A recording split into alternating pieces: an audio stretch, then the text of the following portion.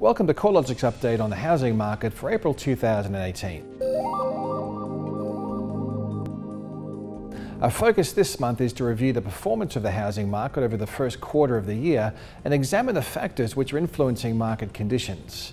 Australian dwelling values held firm in March with the combined capitals continuing a softening trend, recording a 0.2% fall while regional markets saw a 0.4% rise in values over the month. Over the first quarter of the year, capital city dwelling values were down by almost 1% compared with a 1.1% lift in regional dwelling values. The combined regional markets have been outperforming the capital cities since October last year, with the strongest annual growth rates being recorded in the regions adjacent to Melbourne, Sydney and Canberra. Victoria's Geelong recorded the highest capital gains, with dwelling values up 10% over the past 12 months, followed by the Southern Highlands and Shoalhaven region in New South Wales with a rise of 9.5%. The capital region of New South Wales, which includes Queanbeyan, recorded a rise of 8.3%, as did the Newcastle and Lake Macquarie region. It seems that buyer demand has rippled away from the capitals, where growth in home values has been the strongest, towards areas where housing is more affordable, but also areas where jobs, amenity and transport options are also reasonably plentiful. Across the capital cities, Sydney continue to show the largest month-on-month -month declines, with dwelling values down by 0.3% in March to be 3.9% lower since peaking in July last year. Melbourne's down 0.2% and Adelaide is down 0.3%. They were the only other capital cities to see dwelling values fall over the month. At the other end of the spectrum is Hobart, where dwelling values were 1.7% higher over the month. Darwin recorded its first month-on-month rise in almost a year, up 1%, while subtle rises were also recorded across Brisbane, Perth and the Canberra market. Across the combined capital city valuation segments, it's clear that value falls have been most substantial across the premium end of the housing market. Analysing CoreLogic indices data across deciles shows the only valuation-based segment of the marketplace to record an annual fall over the past 12 months has been the most expensive 10% of properties, where values are now down 3.8%. Further to this, over the March quarter, value declines were mostly recorded across the most expensive half of the market, while the most affordable end of the market continued to record a subtle rise in values. Another noticeable trend is that unit values are now outperforming house values, a trend that was reversed during the growth phase. The stronger performance is subtle at the combined capitals level, with capital city house values down 1% over the March quarter, while unit values were down a more moderate 0.7%. More significant differences between houses and units can be seen in Sydney and Melbourne, where housing affordability pressures are more evident relative to other capital cities. Sydney unit values are up by 1.9% over the past 12 months, while house values are down by 3.8%. Similarly, in Melbourne, unit values are 6.6% higher over the past 12 months, while house values are up by just 4.9%.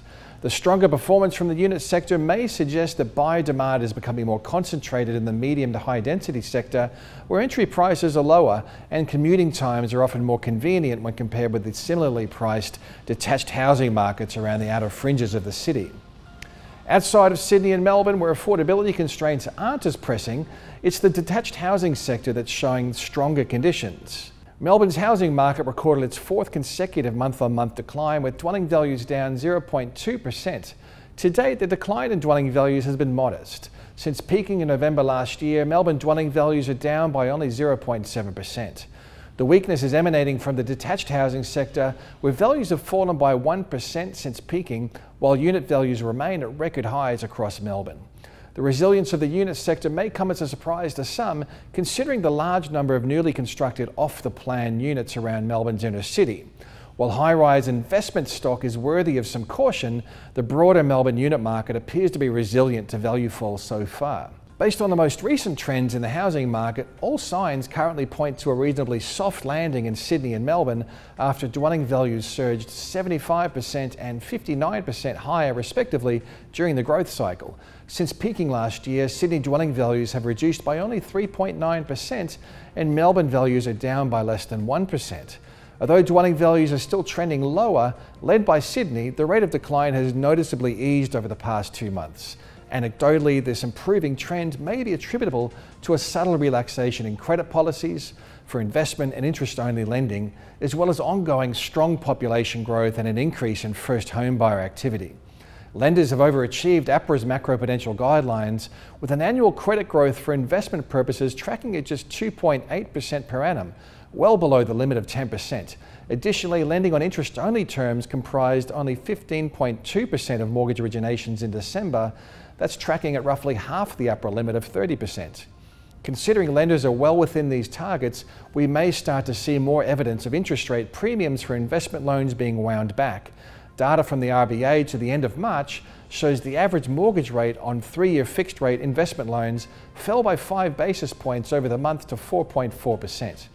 Despite the sluggish annual growth rate for investment credit, monthly aggregated credit data to February showed the fastest month-on-month increase in investment lending since May last year, providing another hint that investment activity may be showing a subtle bounce back as lenders look to regain some market share. The latest population data points to another reason why housing market conditions remain buoyant. The national population hasn't grown this fast since 2013. Overseas migration is trending higher, which creates additional demand for housing. The vast majority of overseas migrants arrive in New South Wales and Victoria. However, the trend in net overseas migration is tracking higher across most states. Another factor that may be supporting housing market conditions is the surge in first home buyer numbers, particularly in New South Wales and Victoria, where stamp duty concessions have been available since July last year. In New South Wales, prior to the concessions, first-time buyers were just 8.8% of the owner-occupier market, and the proportion has risen to a recent high of 14.3% in December last year. Despite the potential improvement in credit availability, credit policy is likely to be firmly under the spotlight following the Banking Royal Commission. Considering housing affordability remains a significant barrier in the largest housing markets and rental yields are close to record lows, even if the housing market is close to finding a floor, the prospects for a rebound in capital gains, like what we saw back in late 2016 and early 2017, are far less likely. As always, you can find more detailed information on the housing market on the research pages of the CoreLogic website at www.corelogic.com.au.